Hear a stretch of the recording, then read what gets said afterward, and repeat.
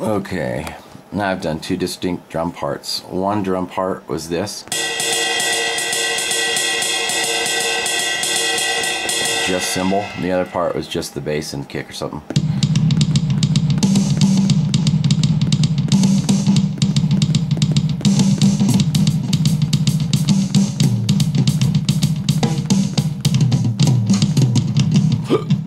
anyway, okay. So now I go back to all sections. Now let's listen to the two distinct parts of drumming here that I in the first one is just kick.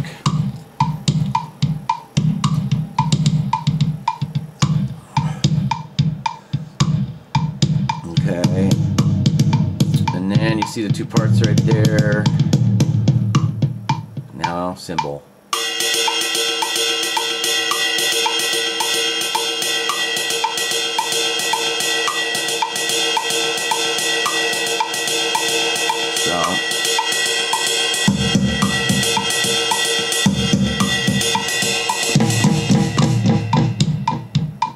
That is it. And it goes back to the original the original one that I wrote.